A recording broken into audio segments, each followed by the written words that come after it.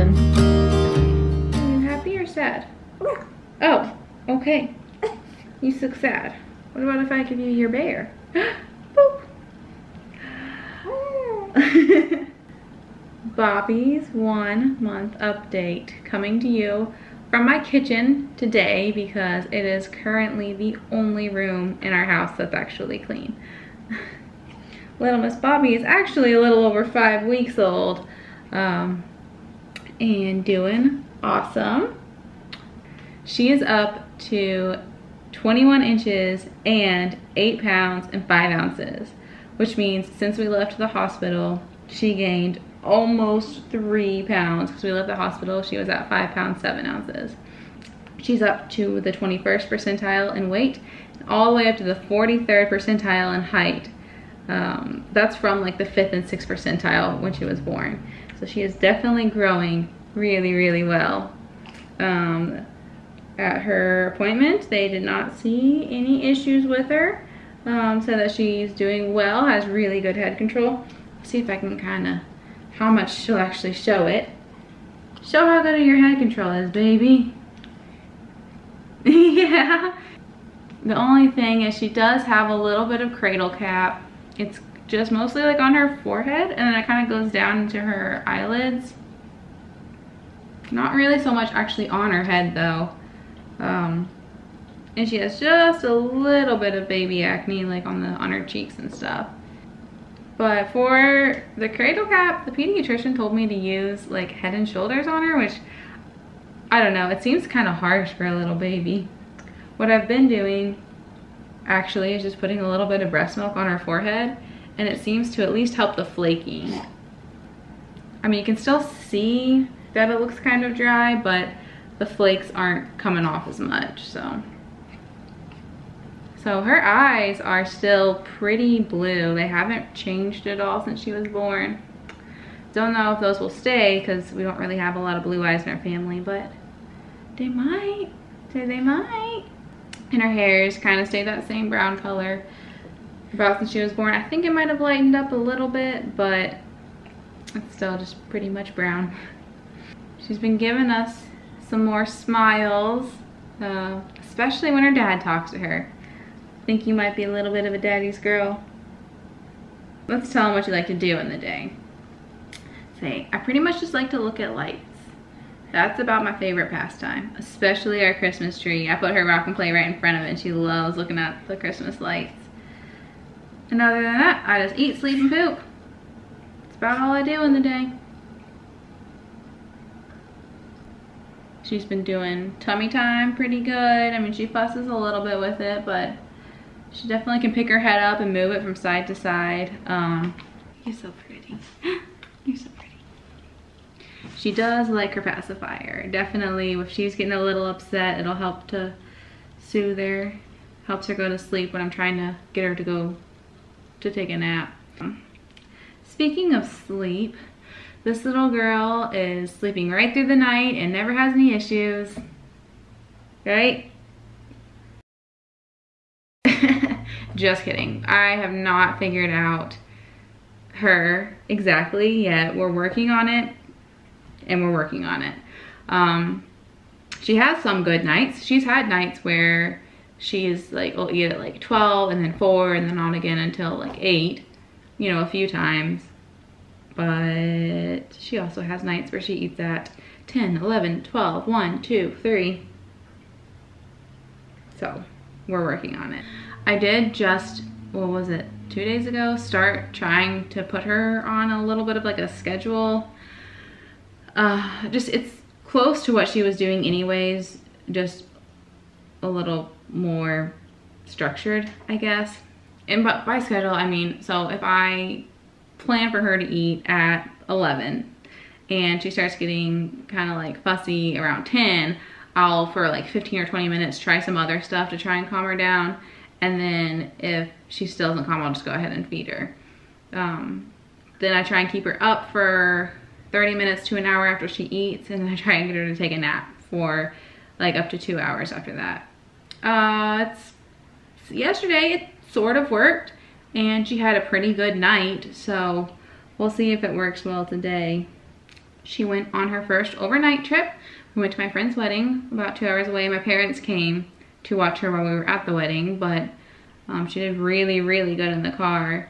Uh, just like she, I don't know how she knew it, but about 15 minutes before we were about to get where we were going, she kind of started to cry and get hungry.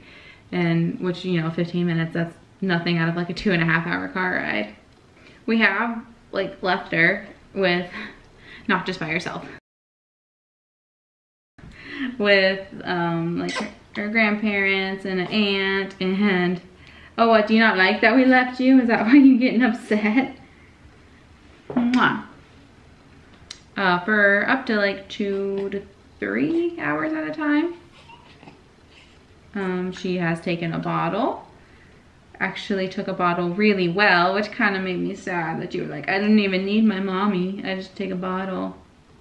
Um, yeah, other than like a few difficult nights, she's, I would say, been overall pretty easy. She's had some fussy days too, but not, like if she has a couple fussy days in a row, she'll have some days like today where she'll be awake and calm. She's got some really big feet for a little baby though.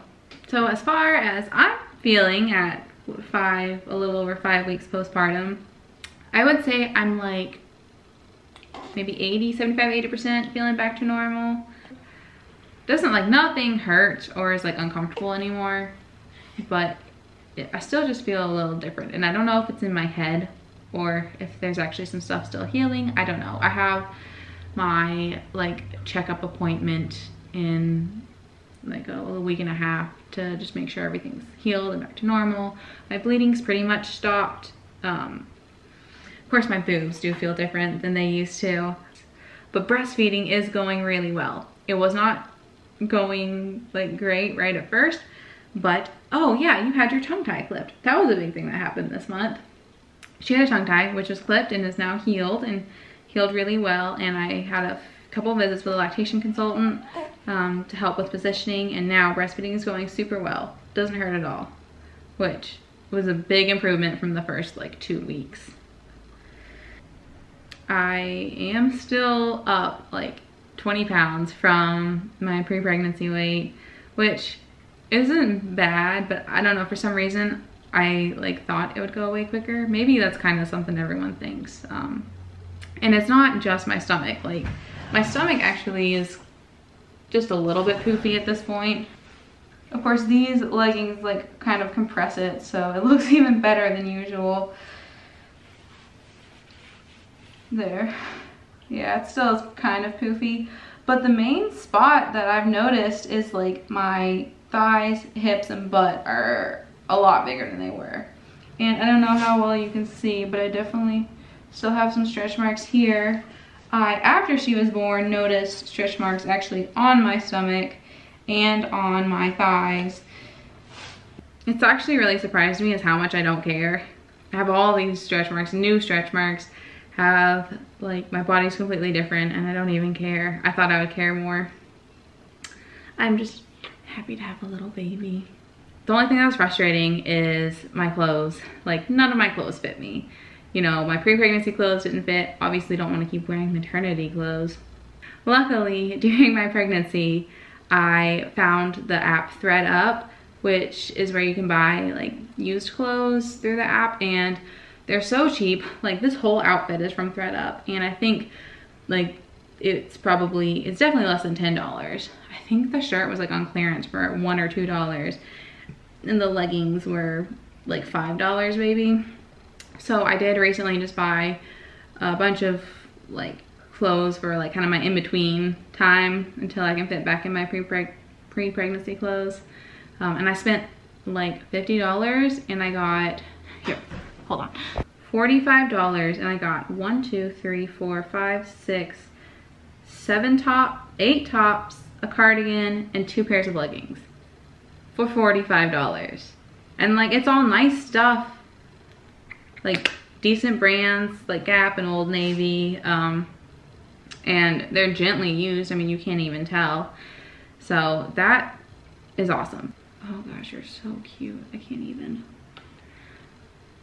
mental health wise, I did have some, I don't know if it's just like baby blues because of having a baby or it's just was such a big change that I had like, I had to protect my mental health more than I realized I would.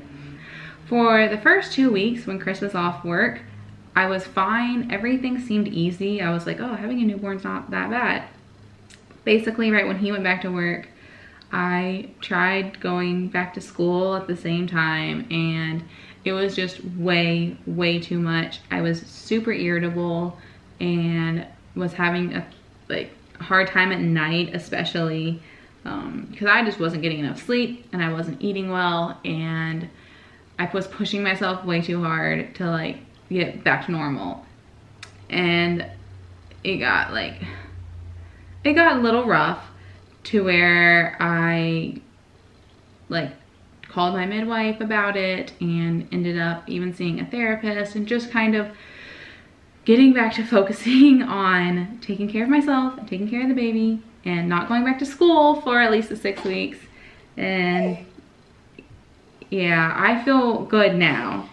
I mean, you know, some nights are still rough, but it's normal rough. It's not like me just being angry and frustrated all the time and then crying for an hour or whatever. But it's normal. I actually did a video talking a little more in depth about all that. It's normal just to take some time to figure out how to have a baby in your life. Uh, but I think we're at a pretty good spot now. Well, thanks so much for watching. Um, comment down below any questions about little Bobbi or ha, first month with a newborn. Oh no, you're so sad that the video's over, aren't you? Say bye. so thanks for watching.